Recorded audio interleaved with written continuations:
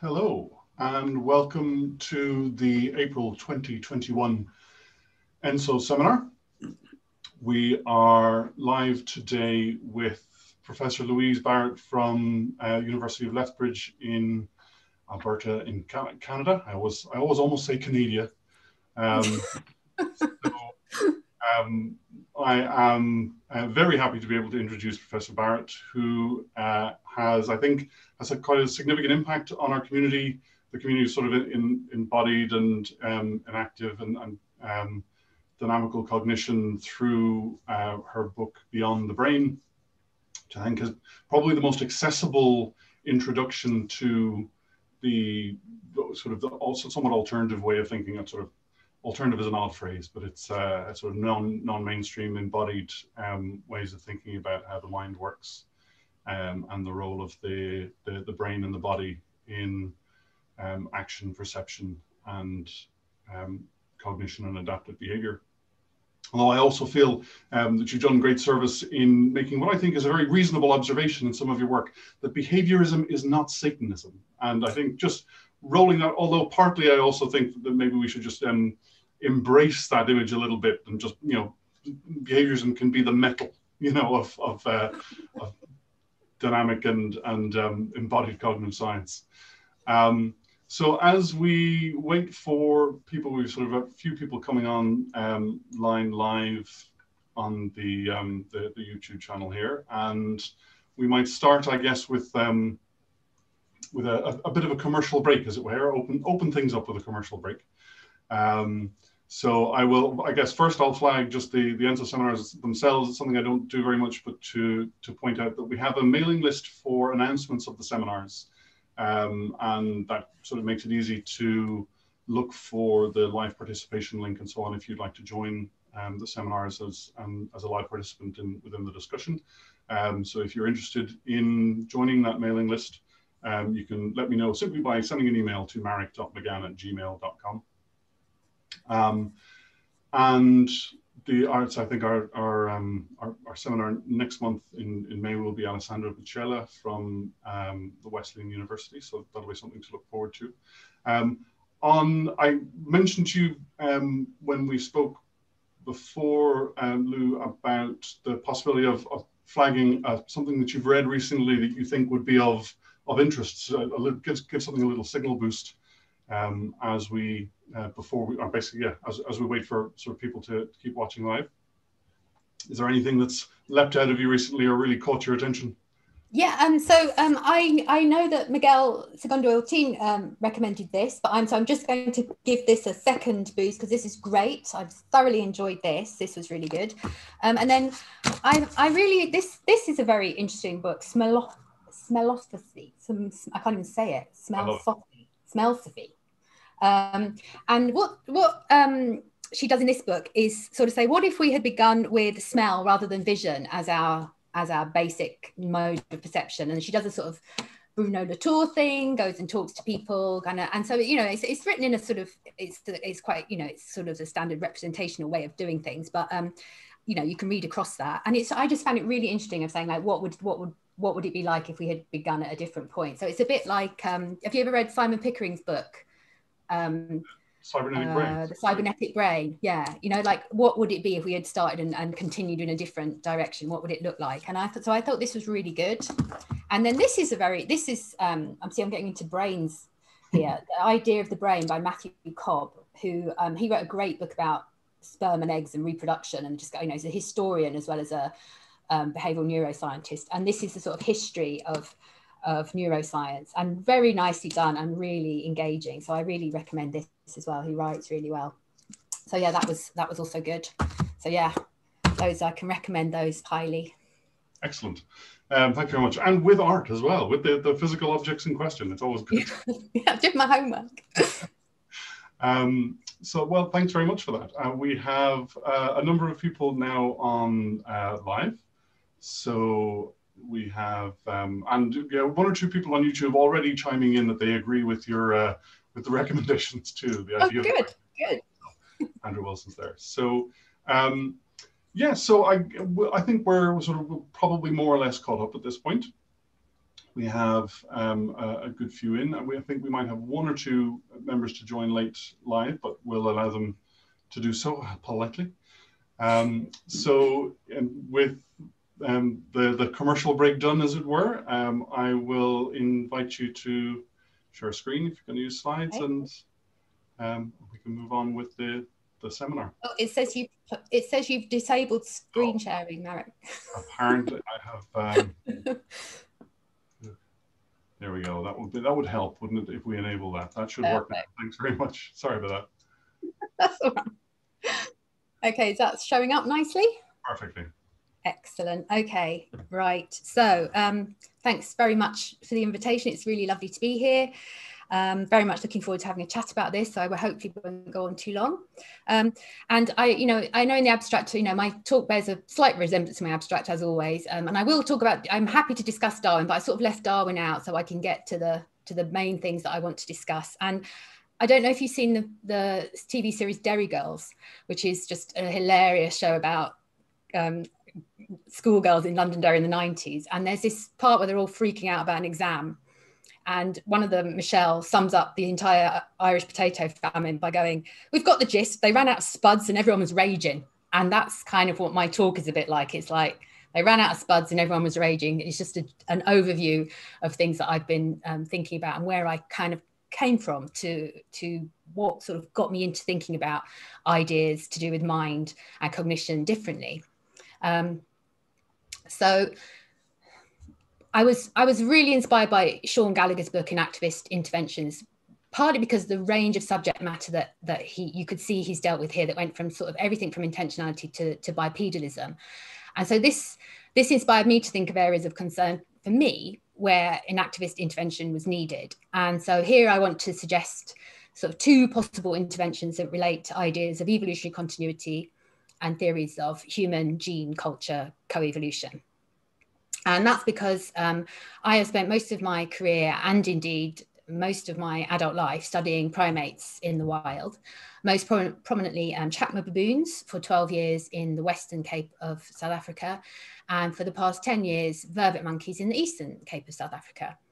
Um, and what happened quite early on in the baboon study, which was when, you know, I, I, also did my PhD on arboreal monkeys in, in Uganda, and I couldn't see what was going on there mostly. I mostly did their diet and ecology because I could just see things dropping on my head from what they were eating. And uh, that was about it. And I, I only got into social behavior when I studied the baboons. And early on in that time, I experienced this increasing disenchantment with the social intelligence hypothesis, which was the dominant view within the, the field when I was beginning working on, on the Baboon project.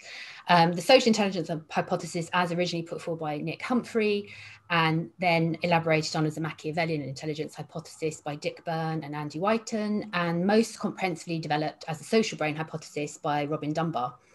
So Humphrey's initial idea can be captured quite simply and was based on his observations of mountain gorillas when he was a student first beginning his career. He went to Dian Fossey's site. And, you know, these chaps have relatively large brains, but as he said, they know they live in a giant salad bowl. So what's the big brain for? Their ecological problems do not seem more demanding than those of other less well endowed species. And that raised the question of where the selection pressure for large brains was coming from. And hum Humphrey's hypothesis was that it came from the social world. Um, that, as Humphrey saw it, in order to respond to the dynamic contingencies generated by other animate beings, primates needed a specific psychological insight into the minds and actions of others. So he made a case for the primates as, as it says here, social gamesmen rather like human chess players. So they needed to be calculating beings capable of a special kind of formal forward planning. And in such a situation, Humphrey argued, um, social skill goes hand in hand with intellect. So Humphrey characterized this kind of intelligence as creative, in contrast to the kinds of practical intelligence that would be needed to forage efficiently and successfully. So just to run quickly through the reasoning here, um, that began with Humphrey and then progressed through subsequent iterations. We begin with the observed facts of social living and big brains. And those are the two things that we, we have empirical data on. Um, sociality is a response to predator pressure, uh, which forces animals to live in social groups and creates competition for resources within the group.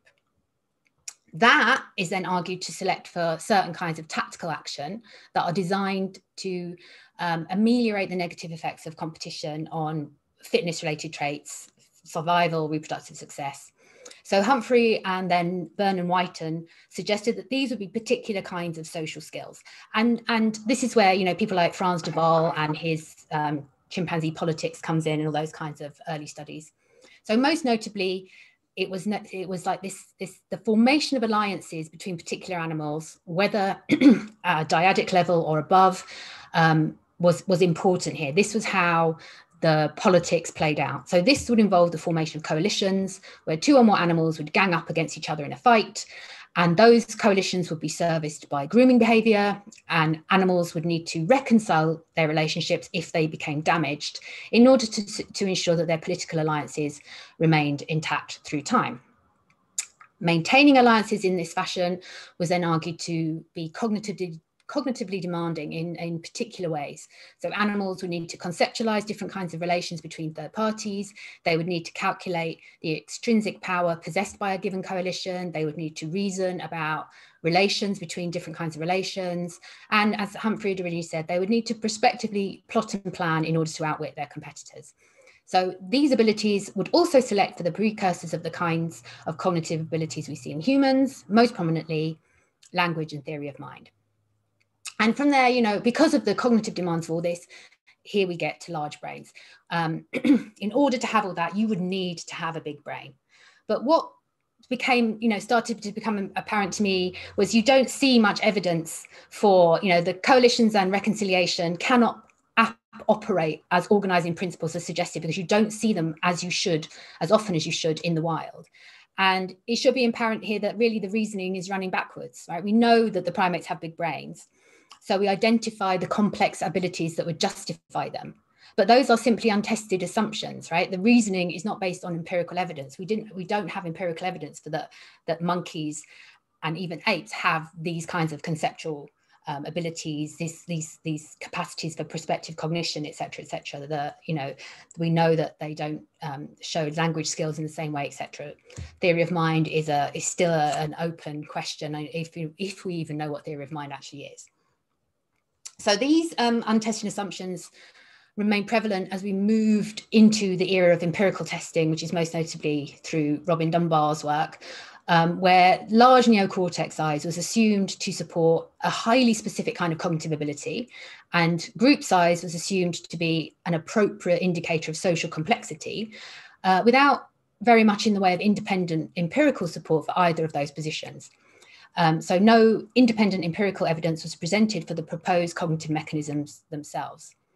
Um, so, you know, this, you know, and the neocortex, you know, I have heard Robin say it's the thinky part of the brain. And that's what these animals are having to do. They're having to think their way through their lives, their social lives, and plot and plan in these ways. Um, and as the social brain hypothesis was then extended to other social animals, that often required the shoring up of these assumptions against empirical evidence to the contrary. So when the theory was extended to other taxa, different patterns emerged. So a case in point being birds, where brain size didn't correlate positively with group size, i.e. the, the theory that, you know, you need a big brain because the more animals you have to deal with, the more complicated your um, uh, socially, you know, the more complicated social life will be, the more demands it will make on, on, on your cognition. Um, the birds, it correlated with pair bonding which is the smallest possible group size you can have. It's two individuals. But um, this continued to be interpreted in highly cognitive and anthropocentric terms. So rather than seeing being attentive to their mate's needs as, for example, a process of embodied attunement and coordination of action, it's being seen as a process of inference and assessment of another's desires and beliefs in a cognitivist and in often an explicitly computational framework because that's a prerequisite for mentalizing. And we need to have mentalizing in here because that's what's driving the social intelligence hypothesis. Because ultimately what we're trying you know it's got to get to sort of human intelligence. And the to cohere as a as a overall general theory it has to apply across all the species in which you find these kinds of effects to do with um, the, the complexity of the social world and the size of brains. So this is what I've come to call the cupcake of, of over interpretation. So you have really rich, creamy interpretations made on the basis yes, of very thin, dry data.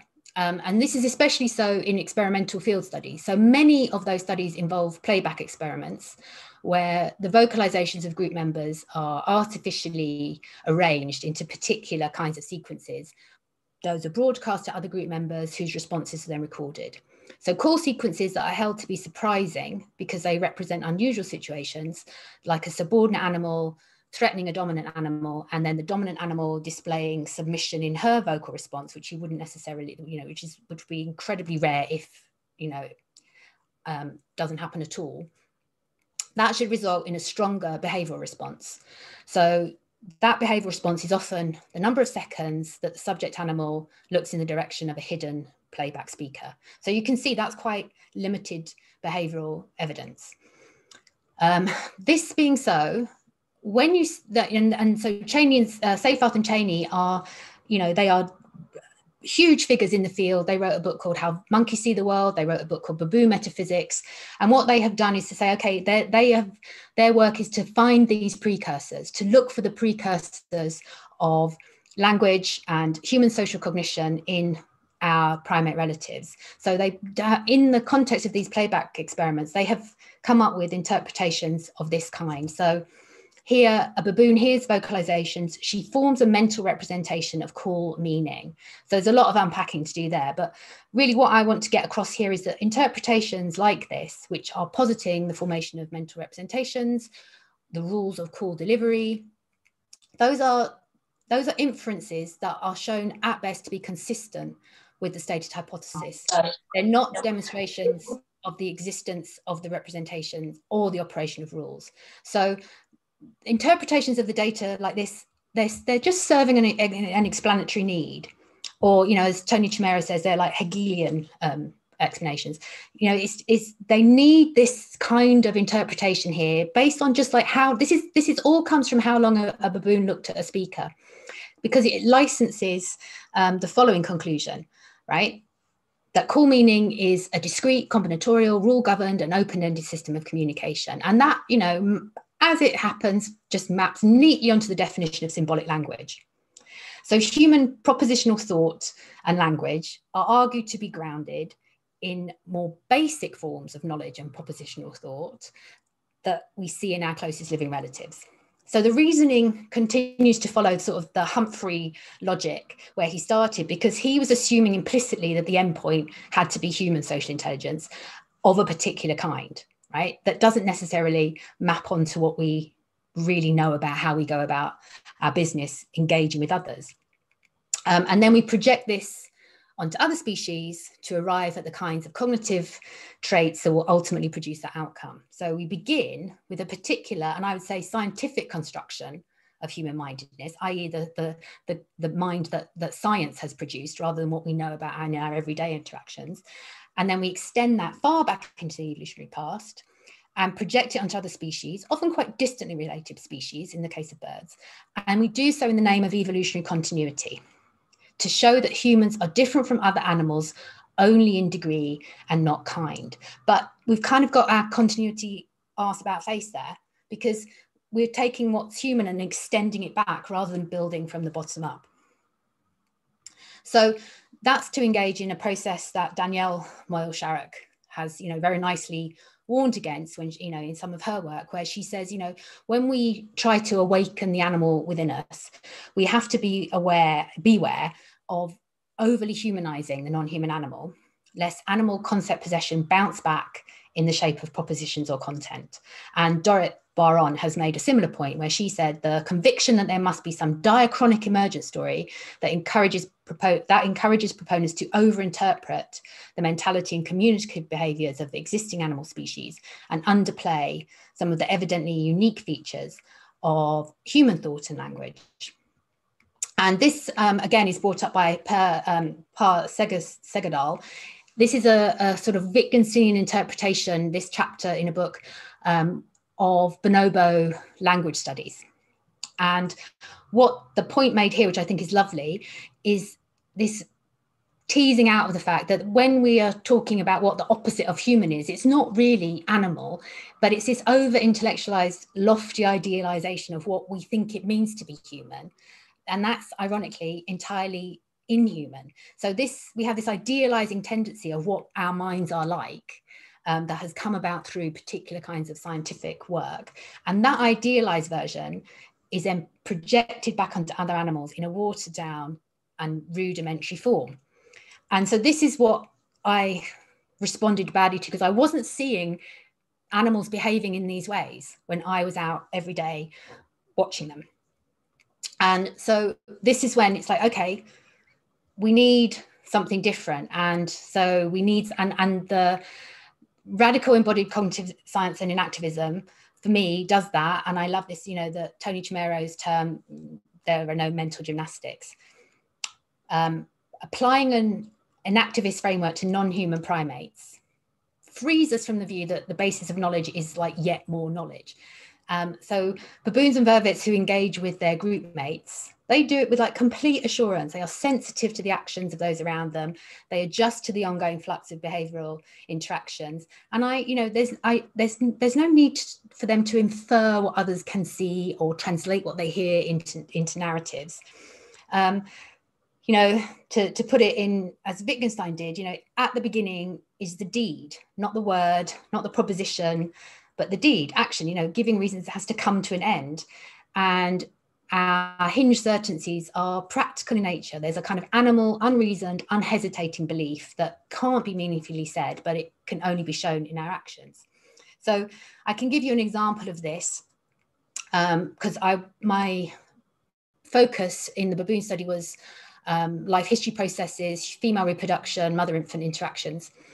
And when a female becomes a mother, the presence of her infant generates really intense interest in other females who will try and approach and handle the infant. They don't always do it gently. Um, sometimes they just run off with the infant altogether. That puts it at risk of dehydration and, extreme cases, death. And mothers, you know, not surprisingly, they get quite agitated. They avoid when others approach. Um, they avoid any attempts to handle their offspring. Um, but grooming the mother apparently can increase her tolerance for this kind of interaction, with the level of grooming dependent on the number of other infants available in the group. So it presumably reflects a level of stress the mother's experiencing. Um, you know, grooming releases endorphins, it calms her down. Eventually, handling can occur. But this has been interpreted, you know, in Byrne and Whiten's original ideas, this has been interpreted as, as a form of deceptive behavior. So every day here, one can see females approach mothers, pretend to be primarily interested in grooming her. What they really are after is an opportunity to hold her infant. Um, but is the mother really deceived? So the idea is that the female comes up and you know it's like I'm just gonna groom you. I don't want to touch your baby, and then like tries to grab the baby. Um, so the female comes with an intent that she disguises in order to lull the mother into a feeling of false security. And if you watch what goes on in great detail, if you record the interactions, if you study them um, in detail, if you see lots of them, that's not what goes on. So typically, a female will approach the mother, and if she's lower ranking, she'll sit at a distance of about two to three meters um, that places her sort of sufficiently out of reach of any form of aggressive attack. Then, once she's there, they monitor the mother really closely, they follow her head orientation and gaze, and mothers, for their part, often turn their backs as the handler approaches and to kind of force the, ha- the handler to begin circling around the mother in order to keep her face in view and the infant. And if mothers can't keep the handler out of their own field of view in that way, you know, they just kind of just don't look at her. They kind of avoid gaze. And as long as that persists, handlers sort of seem paralyzed and they're unable to act. They circle around and around and around, but they can't come any closer. And then the mother, um, if they, you know, then there's this something when the mother sort of inadvertently catches the handler's eye, and that's a cue that the handler moves in and approaches into like, you know, within arm's reach. Um, so the mother, so once in proximity, and with the mother sort of turned away and sort of hunched over the baby, what she's then doing is presenting her shoulder or her back. And as a consequence, handlers more often than not begin to groom. So seen in the context of the interaction as a whole, this is not a ploy to deceive the mother, but it occurs because the handler is in an aroused state, she's socially oriented, and she is afforded the opportunity to groom, right? Presenting the shoulder or back is a standard signal that, that precedes grooming among many primate species. So as grooming continues, mothers relax their bodies, they orient more directly towards the handler, they afford the opportunity to interact with the infant. Um, and that's an opportunity that the handler may or may not take. I'm calling it the handler, I mean, they don't necessarily always handle. Um, it's not uncommon for potential handlers to become so engrossed in grooming that they, you know, I've seen infants go sailing across the the you know savannah because um, the the groomer is, has lost all interest if it, if they ever had any in the infant, and now grooming is the focus, so that they can continue grooming the mother unimpeded. So really, infant handling is about two individuals bringing their behaviour into coordination in in real time dynamic fashion. It's not about the execution of preformed goals and intentions that exist in one or other of the animal's heads right? Both grooming and handling emerge from the interaction rather than representing the goal of it. So I just, you know, this this view that that has been generated of what primate life is like is is completely um, alien to me as someone who has spent time working with wild animals on a on a long term basis. And I think that Contra to Nick Humphrey, if we're going to think of, of, of life as a, any kind of game, um, it's more like a jigsaw puzzle and not a chess game. And this uh, this comes from David Kirsch, um, who pointed out that you know jigsaws are perceptually hard but intellectually simple. And uh, you know, and that's why it's the reverse of what what Humphrey's trying to get out with the chess playing. If you have a tile and the existing layout, the situation this is quoting from David Kirsch now, the situation wholly determines whether or not the tile can be correctly placed. There is no need to check the downstream effects.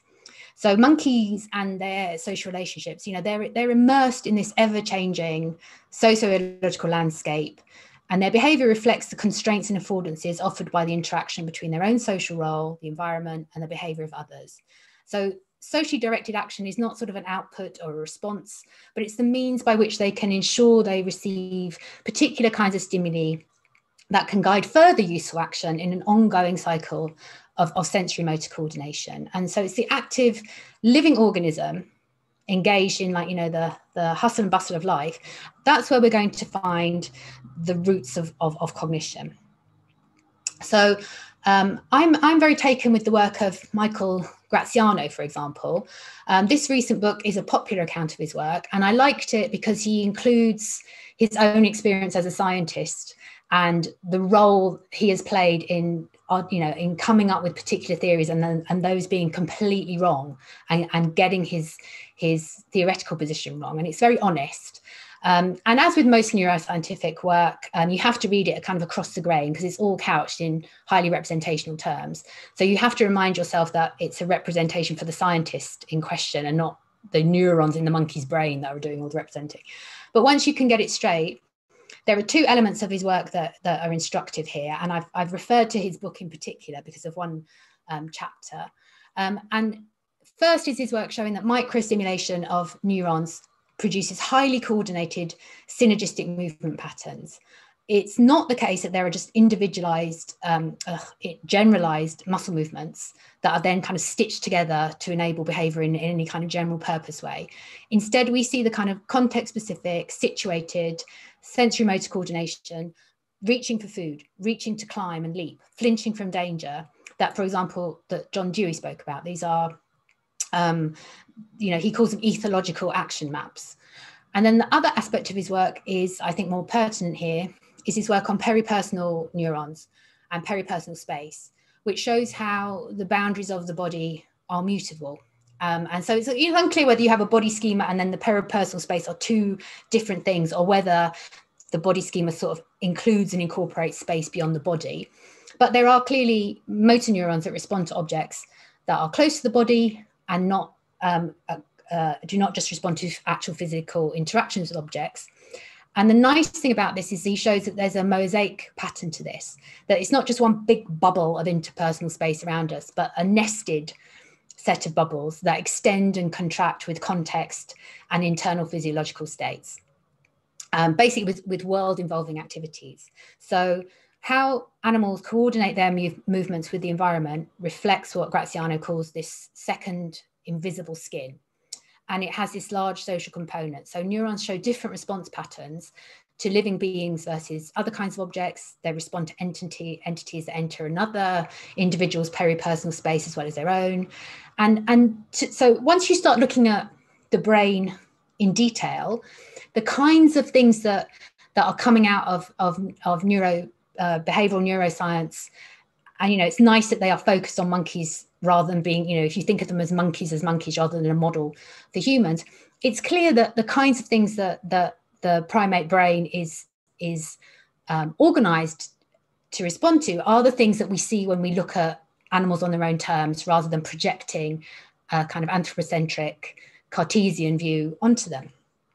Um, so I think this is, you know, this supports the notion that coordination of our bodies in physical and social space is crucial to the kinds of social know-how that characterize monkey interactions.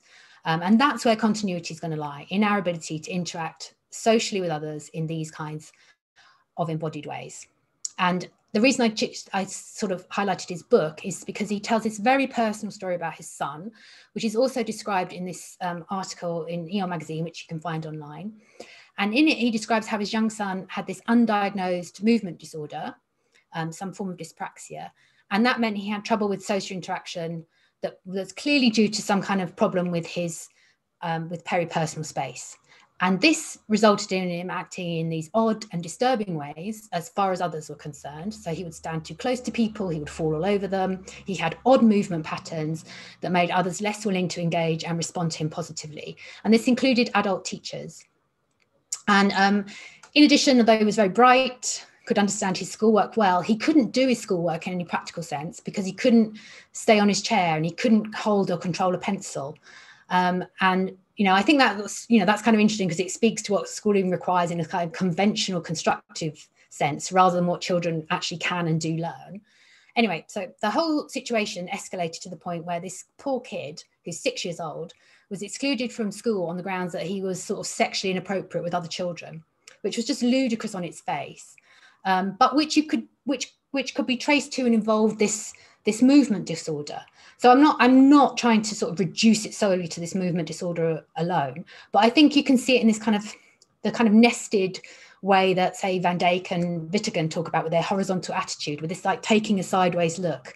I think it also speaks to Roger Barker's notion of of behavior settings that this kid was you know he just wasn't behaving as he should in this in these particular settings, and it, it you can see how it was because of his inability to engage with others in these embodied ways, not anything to do with his understanding of others' mental states or anything like that. Um, so the story has a happy ending, thankfully. But I think it's a great illustration of the way we have our continuity backwards. We assume social skills, including human social skills, are linked to high level mental state attributions. And when in fact, you know, it's this, these embodied forms of coordination that are conserved and central to primate social skills. And that was the more productive place to start when we want to start thinking about what it means to be a social creature. So um, the other relevant finding in this domain is um, one that links to the final couple of points I want to make quickly. And this is this work by Iriki that demonstrated how tools become incorporated into the body schema over the course of skill learning.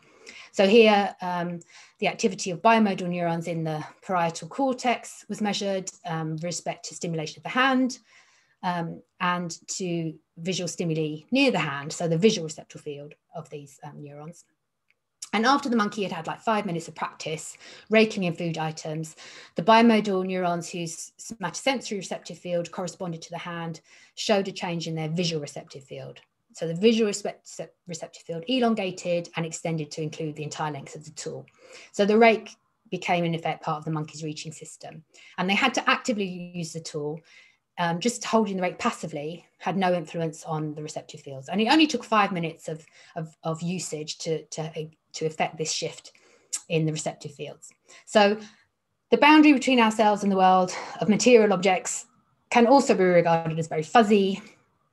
And this is relevant to, I think, the human evolutionary sciences in terms of how human cognition is conceived and studied.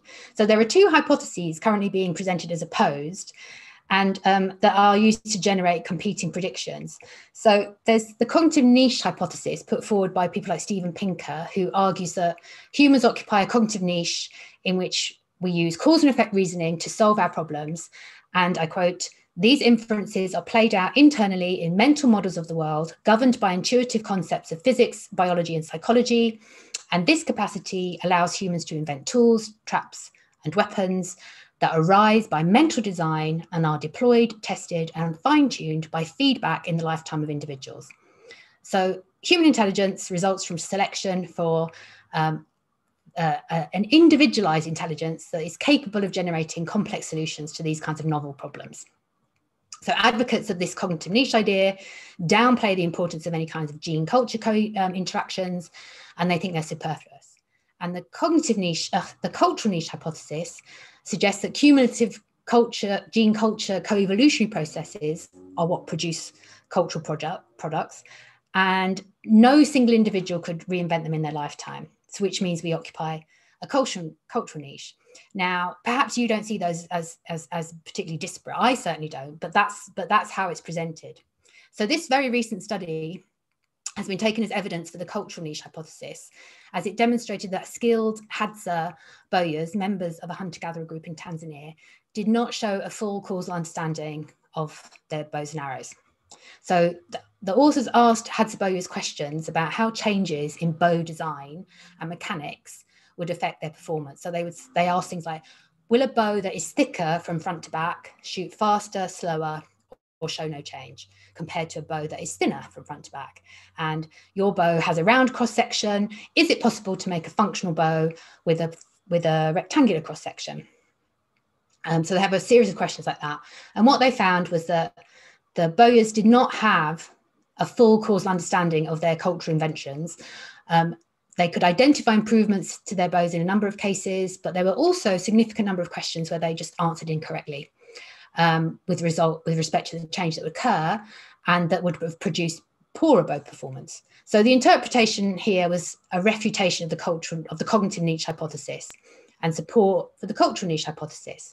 But what I think the cultural niche hypothesis is really getting at, in my view, is an implicit rejection of this Cartesian view of mind used by the proponents of the cognitive niche hypothesis. And you know, and, and you and there are some people like um, who, who trace this directly back to the social intelligence hypothesis, um, uh, which rests on this classic cognitivist, internalist, individualistic, intellectualized view of mind. Um, so the cognitive niche view really reflects a scientific picture that we have created of the mind, and it doesn't re- correspond to wild minds. So, as um, Head, Ed Hutchins said, to quote, most of cognitive science, much, much of what cognitive scientists have been modeling is not actually cognition itself, but the formal symbolic tools and systems that human cognition itself created and is now adapted to. Consequently, computational models of the mind are themselves cultural symbolic tools. Um, so, what the Hadza study could be said to show is not that that has a lack of full cause understanding, but bows lack the kind of understanding of, of causality required by a Western scientific understanding of physics, which is what cognitive psychology's intuitive physics boils down to. It's not seeing things in terms of, say, ecological physics, as Gibson spoke about. What's being investigated What's what's not being investigated, rather, is how Hadza bowyers are regulating their behaviour with respect to the affordances of the bow, and whether they can un, they can demonstrate causal understanding when the problems are presented to them in terms of ecological physics and affordances. Right, it's really getting at the kind of understanding that can be articulated linguistically, and and that alone. So, from from an enactive, you know, embodied ecological perspective, the cognitive system is not the bowyer alone. It's the bowyer plus the bow and arrow. And I think, you know, the bow's body schema likely extends to include the arrow, and the understanding of causality emerges in the action of its use. There is an experienced physical causal connection between the bowyer and the bow. And it's that system that could be said to understand causality in a direct, physical, pragmatic way, and not in an indirect, disembodied, representational way. That's what and art, what matters here is producing a bow that affords shooting an arrow in ways that serve the Hadza's goals. So I think we can reconfigure this not as a rejection of the idea of a cognitive niche per se, but again, as a rejection of a model of mind that confines biological and psychological processes to the brain alone, um, when the more evolutionary approach would actually be to acknowledge the fuzziness of the boundaries of the body um, and, you know, with material objects and incorporate culture into it and not see it as something separate from mind and, and, and treat culture as, as distinct from as an evolved process. It's part and parcel of the same evolved process, I think. Um, so we need to talk about more like you know performative skills here. You know that's what what that's what we're seeing, and those are instantiated in the organisation of the entire system. So um, as a final point, I think we can also consider one final way, and, and then again, I'm really what I'm trying to say is anthropocentrism is is the problem here this anthropocentric cognitivist view is, is the problem for, you know, primate evol- brain evolution and, and the human evolutionary sciences, um, because we, we don't recognize that material culture can generate its own form of agency that acts with us and through us. Um, it's always assumed that technology and tools will do our bidding, that we act on the world, and we assume that they can't exert similar effects on us. And this is where I kind of get frustrated with people in the evolutionary human sciences who are so keen to express the need to have um, evolution for a complete understanding of you know and the social sciences need to get with the evolutionary project. But they they never take account of the kinds of work done in the social sciences that could really really really help. So i think bruno latour's actor network theory is useful here. You don't have to see humans and their artifacts as two distinct things they're, they're actors in a network and you don't have to differentiate between human actors and inanimate actors.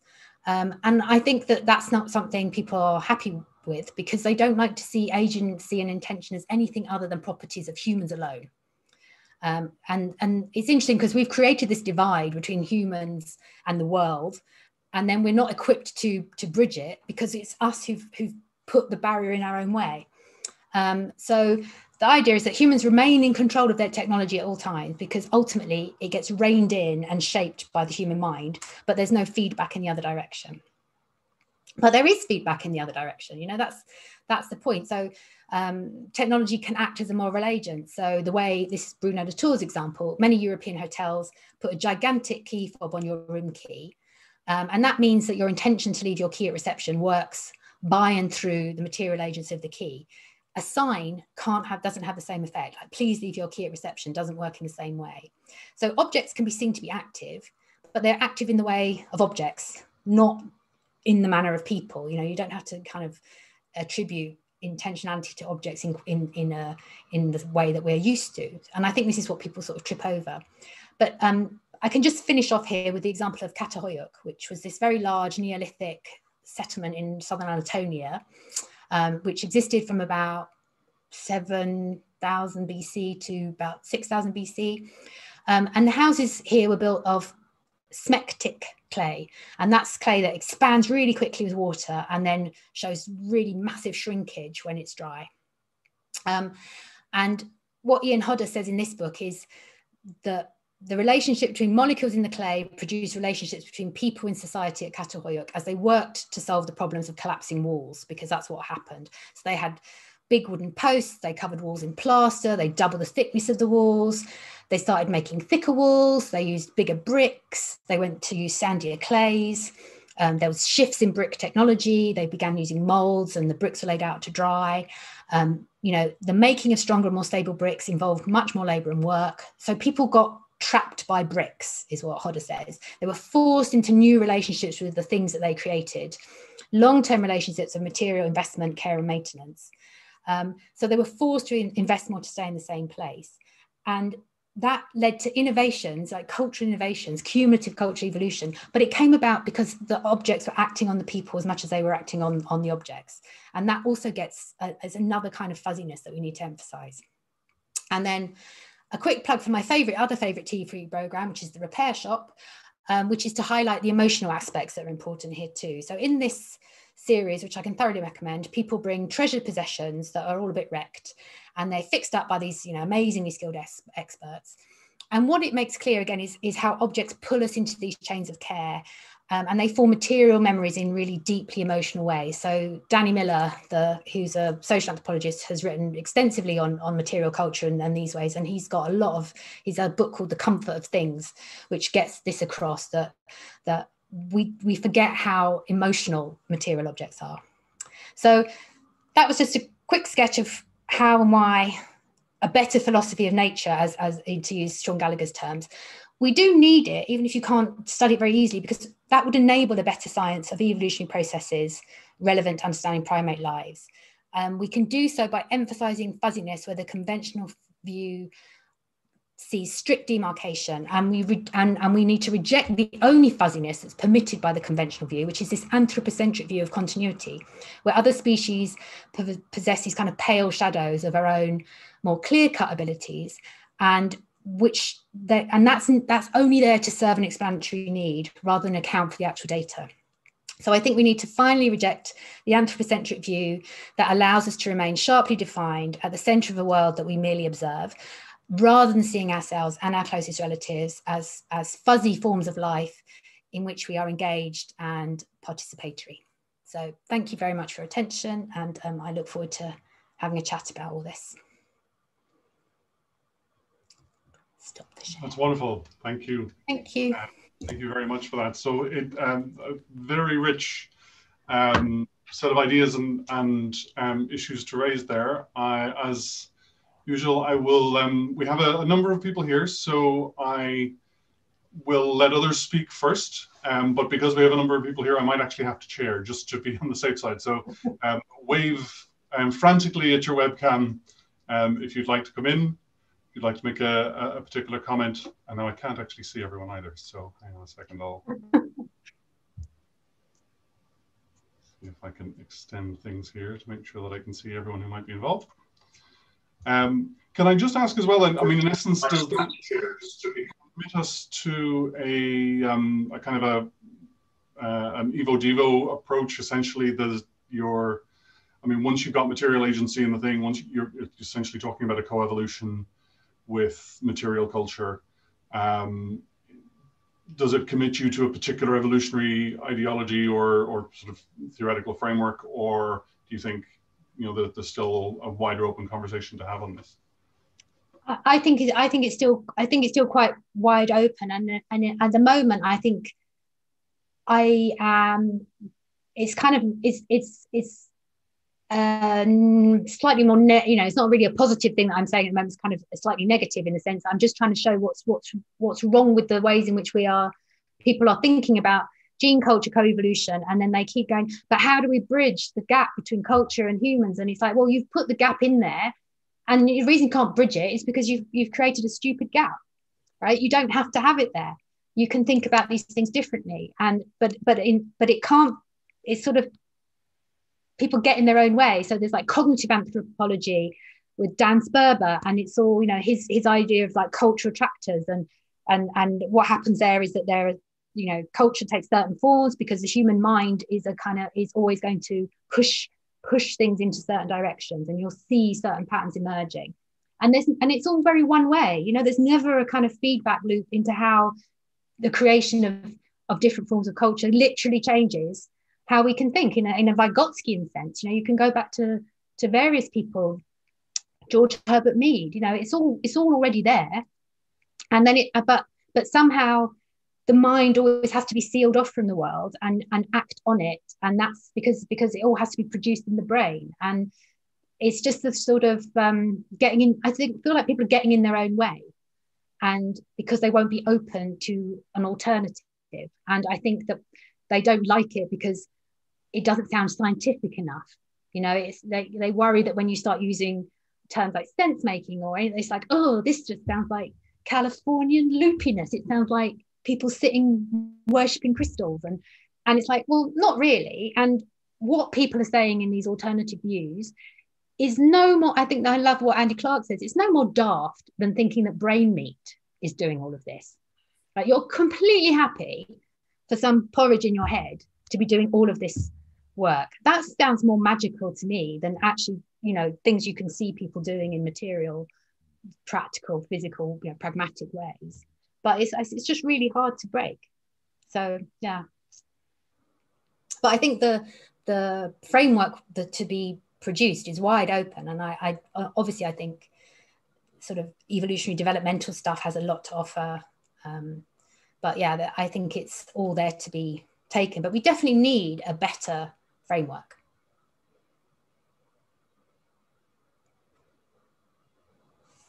You're, you're muted. You're Marek. muted, Marek. Marek, you're muted.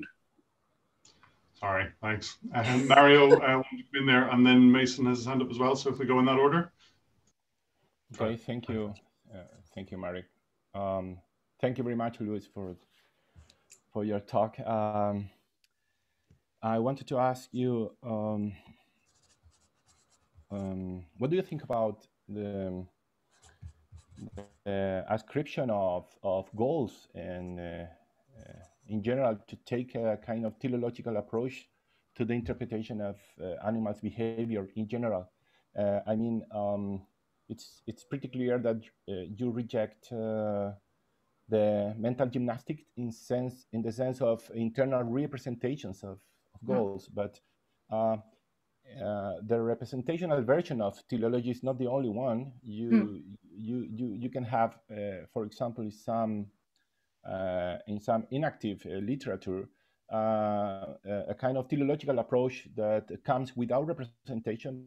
It comes grounded on more sort of biological intentionality or something like that, but which it's informed um, uh, by some Jonasian and therefore Heideggerian existential existentialist interpretation of animal animals, uh, and that's an, a, a, different way of teleology without representation, but still teleology.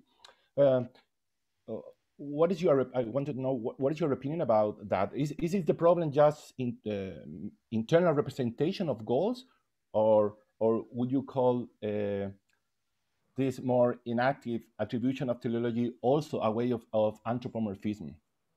So that's a, yeah that's a great point. Um, i would i would say that my problem is with the ascription of uh, in a representational way. I don't have a problem thinking about it in a biologically grounded way. And i think that comes about because because um, Harry Heft said it very nicely. You know, like when you think of psychology, he said it has a flawed ontology. It's based on inanimate machinery. It's not based on on, on biological systems. And I think if you if you take a, a view on biological systems and think about evolutionary processes, then I think you can sort of say yes.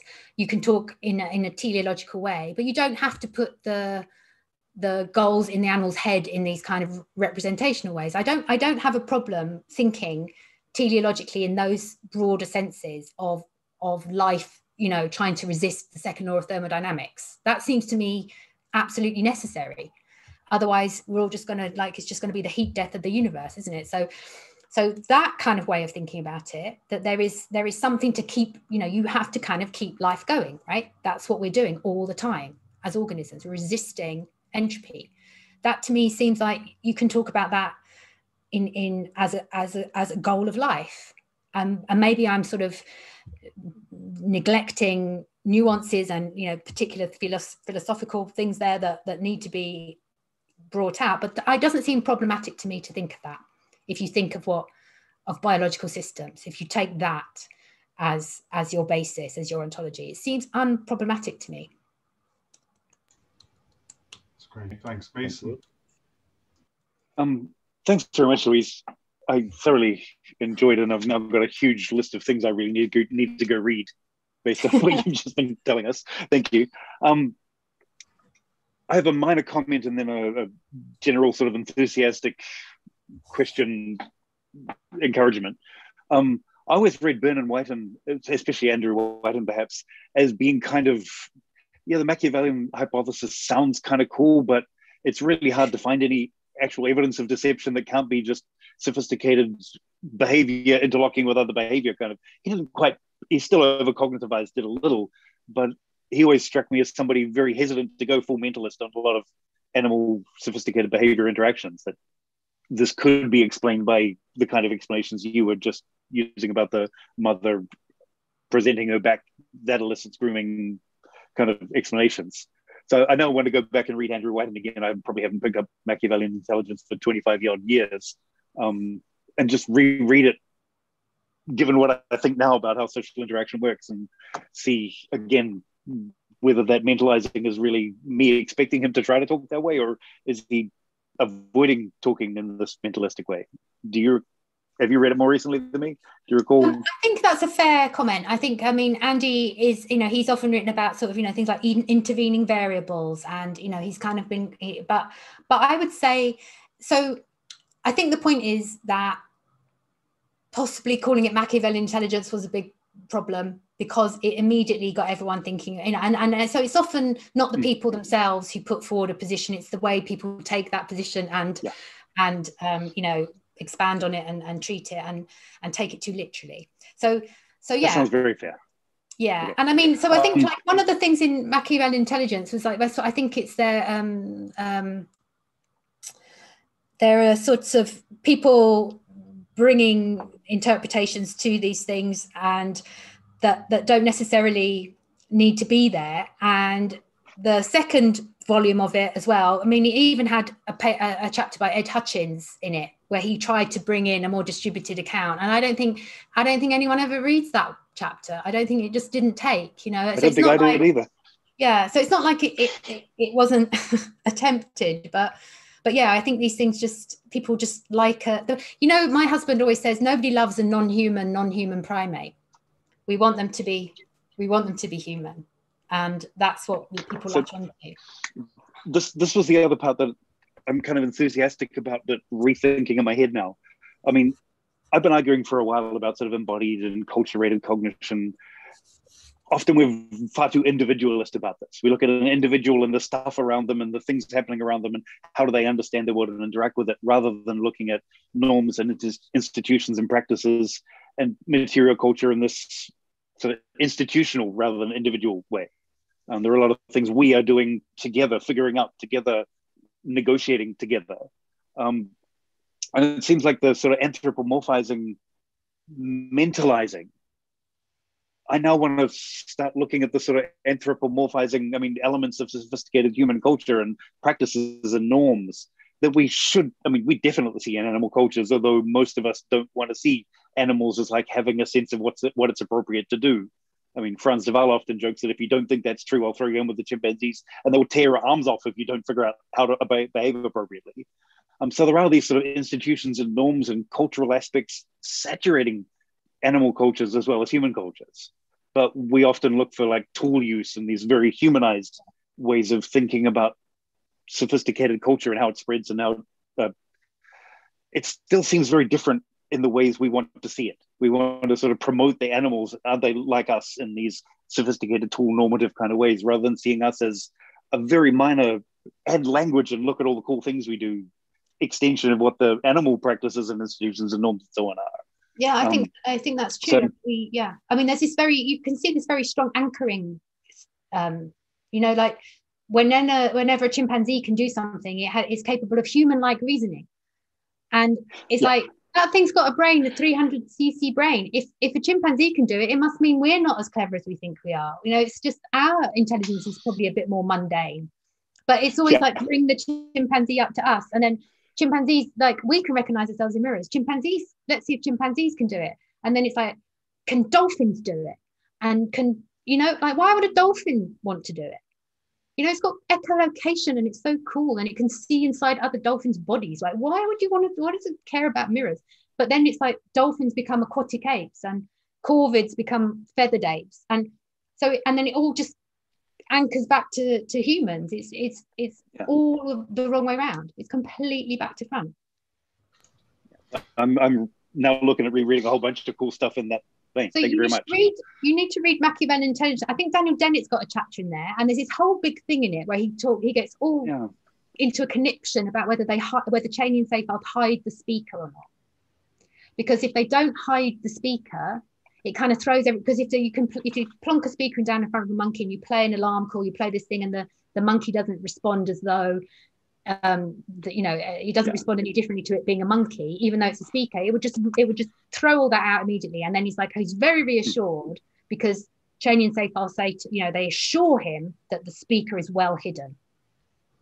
And my thing is like, well, what if you did leave the speaker out in the open? And I can tell you, we did it with our Vervets, we redid the Cheney and Seyfarth alarm call stuff. And if you leave the speaker out in the open, they respond in exactly the same way. They don't, they don't go, oh, that's like weird. That's a speaker making that funny noise. That's a box. They respond as though it's a monkey. So this idea of having to hide the speaker was again not an empirical thing. It was like, hmm, if they know it's a box, they won't respond in the right way. We have to make them, you know, we have to ensure that they they they think it's a monkey. And that again is just that's a projection of of our uh, thought and and how we see the world onto them. And no one empiric there was no empirical test as to whether they would care if it was hidden or not. And in our vervets, they do not care. Thank you very much. Um, so, Fred, you wanted to come in?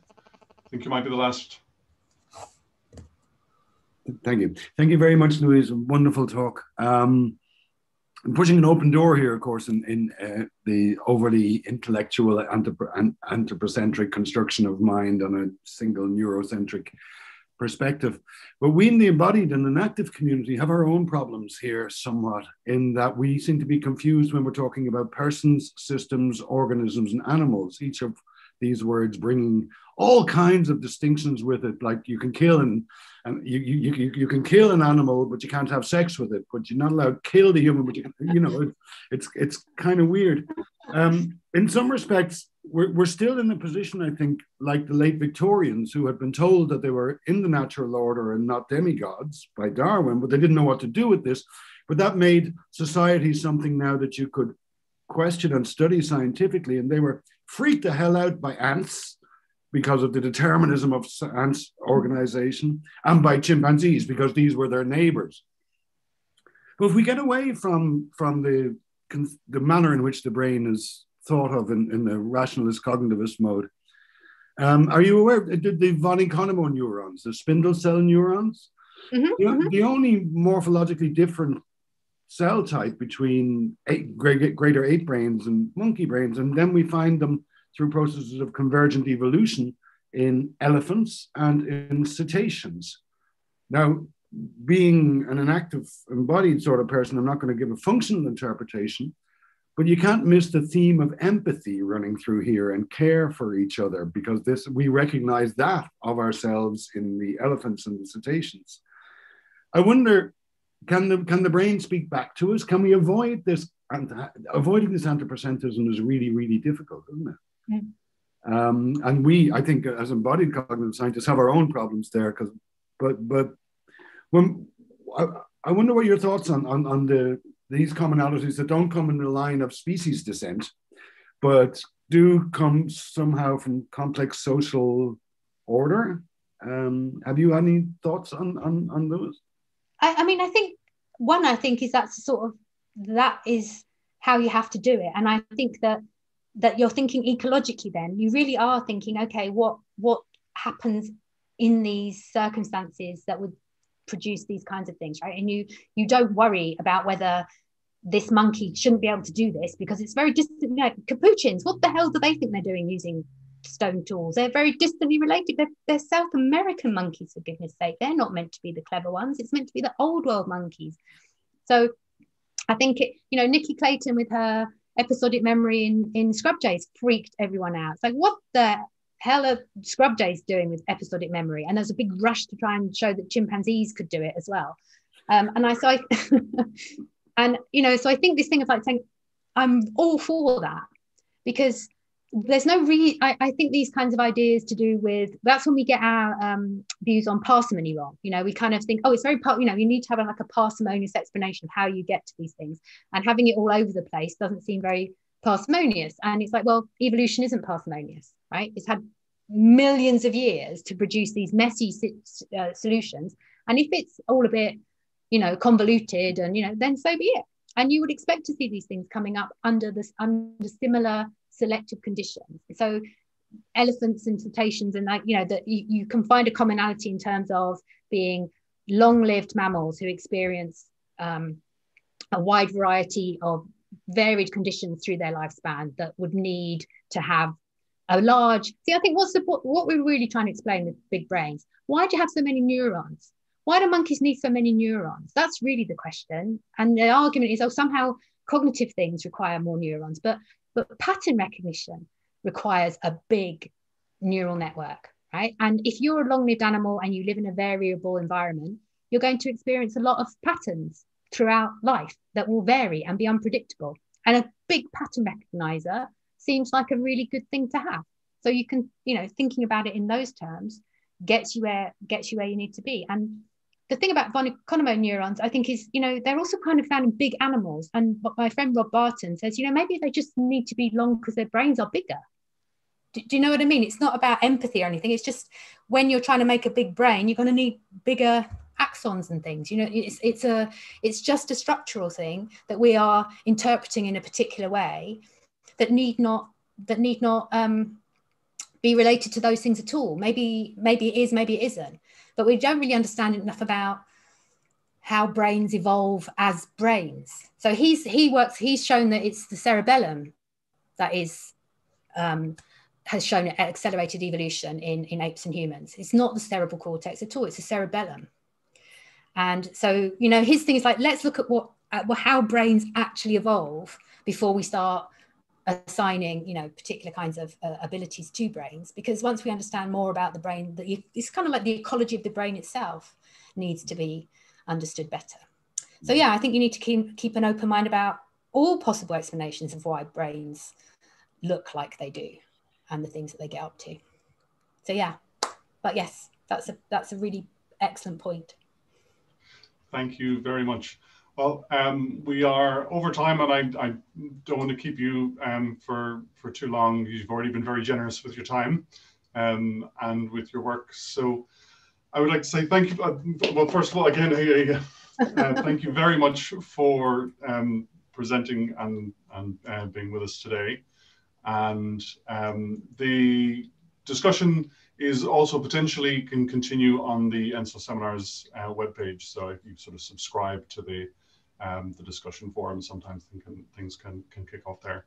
Um, but yeah, I just want to say um, thanks very much. That was uh, very rich. I really enjoyed that. Um, excellent talk. And um, I'll say to uh, our live participants and to others watching, thanks for showing up. And hopefully we will see you in a month's time for our next ENSO seminar. Great. Thanks very much. It was, it was such a novelty to see different people. I could have I could have stayed here all day. okay, so, and that is